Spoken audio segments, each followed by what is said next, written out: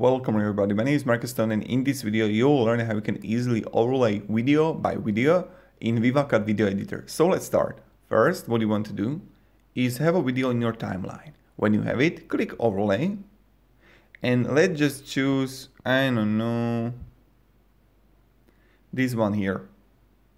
Okay, and I'm going to edit. So straight away you can see it was edited like really really cool. And whoo so we have it.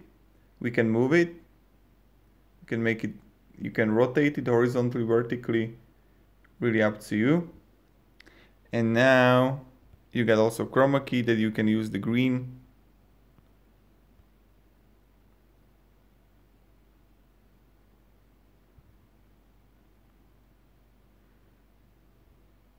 Yeah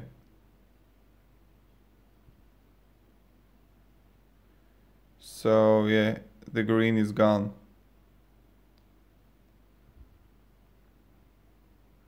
Wait a second, chroma key.